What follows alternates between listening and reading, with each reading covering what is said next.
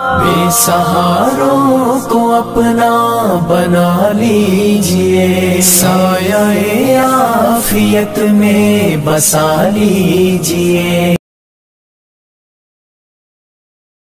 और मेरी बात का अंजाम इस पर है कि हुसैन रज़ी का जो आलम लहराता था, जो झंडा आपके पास था, जो उस पर लिखा हुआ था, मेरे भाई और बराओ बहनों, वही बस, इमाम का मिशन और वही दीन का निचोड़ है।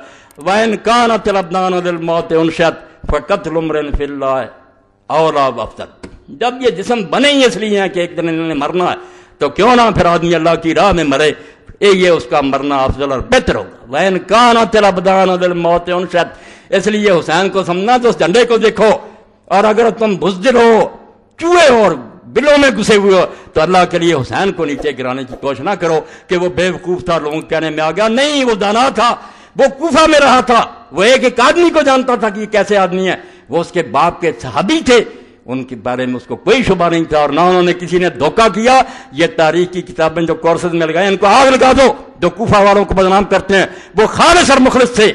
और उन्होंने बाद में बदला लेने के लिए अपनी जाने दी। तुम बकवास करते हो?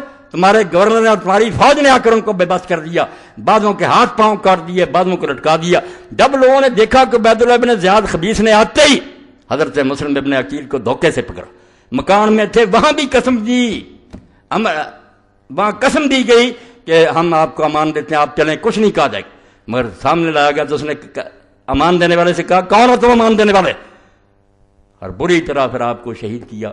और आपका साथी जो था, उसको भी दोनों को छत पर ले गए। हानि बन उर्वा वो दरूज शरीफ पढ़ते थे अल्लाह अकबर इस्तीफारा ज़िक्र करते थे, दोनों की गर्दनें मारी गई, लाशें जिसम पर, ज़मीन पर गिरी, और उन लाशों को फिर रस्से डालकर बाजारों में घसीटा गया, और सारे उनके जो थे इमाम हुसैन के आने से पहले यजीद को रवाना कर दिए और जालमो, यहाँ तुम्हारा कोई आलम मारा गया। तुमने कोई नहीं देखा कि जयाल हक ने को हुक्म जारी किया था, कलामा साहब को मारो किसी के पास कोई सबूत नहीं है कि नवाज़ शरीफ ने को हुक्म मगर तुम आज तक रोते हो। इनका दौर था इन्होंने किया।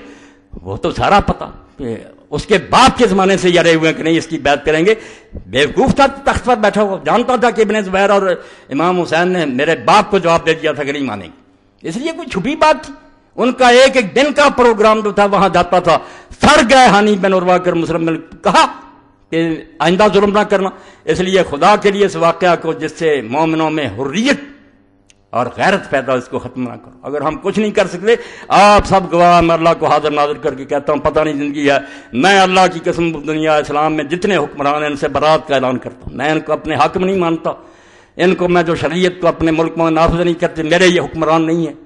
मेरे दिल में जो आग लगी है वही यही है कि अल्लाह किसी दिन इस ज़मीन पर तेरा और तेरे रसूल का झंडा लहराना चाहिए, तेरा निज़ाम जारी होना चाहिए। वो एक चप्पा पर ज़मीन पर जो जारी करेगा, वो मेरा अमीर होगा, वो मेरा इमाम होगा, वो मेरा खलीफा होगा। ये हुक्मरान है मुतगलब हैं मुसलत हैं, ज़बरदस्ती बैठे हुए बैठे रहे हम इनका कुछ बिगाड़ नहीं सकते, बेबस और मजबूर हैं।